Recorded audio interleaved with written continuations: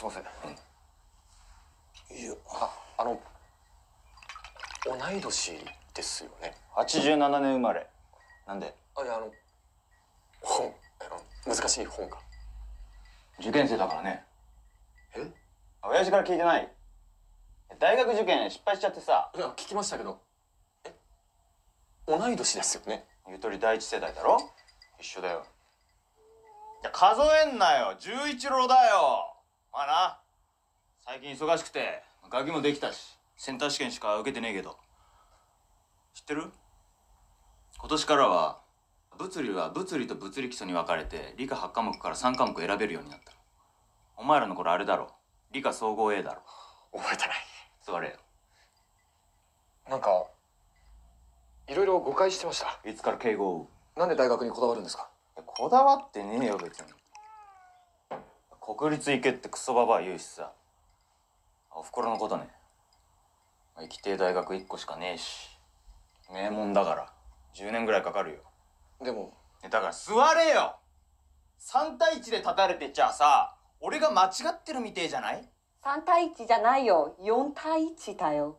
今から大学入っても就職する時33でしょ。いや就職なんかしねえよ。どうして自分よりバカにこき使われなきゃいけねえんだよ。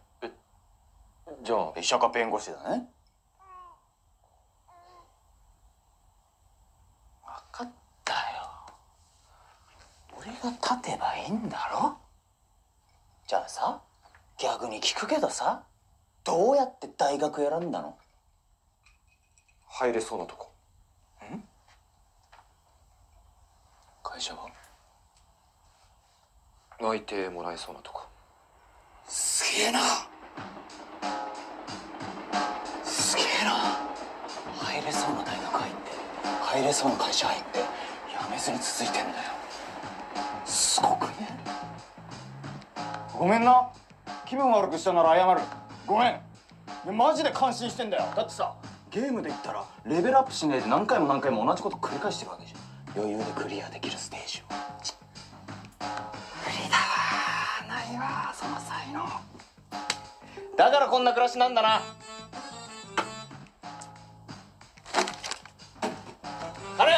やいいいです。いやよくねえよ。俺誤解してたわ。もっと上昇志向の人かと思ってたから。持ってけ。持ってけよ。俺だってな毎日焼き鳥食うのきついんだよ。本当いいですか？なんでだよ。本当いいです。そろそろ帰ってよ。おっぱいの時間だよ